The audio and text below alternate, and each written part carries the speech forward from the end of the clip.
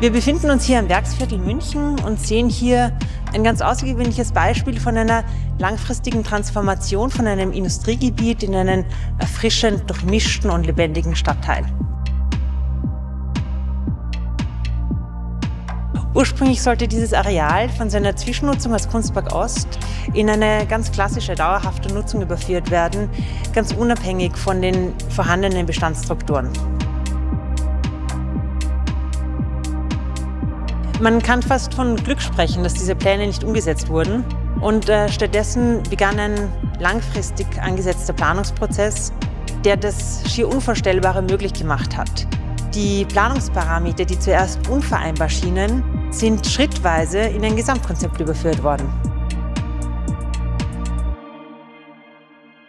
Das Ergebnis, das wir hier sehen, ist ein gut eingebundenes, lebendiges, urbanes Quartier, wo neben Wohnen, Handel und Gewerbe auch Freizeit, Veranstaltung und Kultur stattfindet. Und so ist hier zu fast jeder Tages- und Nachtzeit ein wirklich lebendiger Ort entstanden.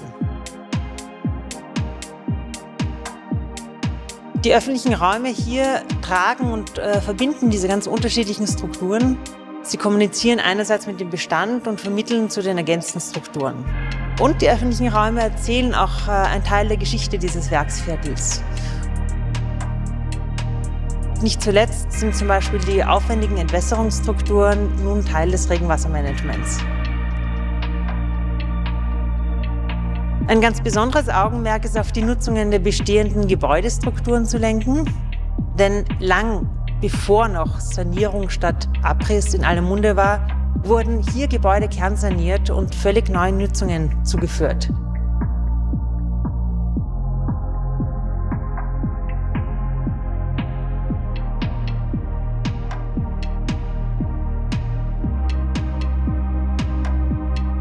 Möglich war das durch das unermüdliche Engagement von Steidler-Architekten im Zusammenspiel mit dem Planungsreferat der Stadt München und natürlich nicht zuletzt mit den EigentümerInnen.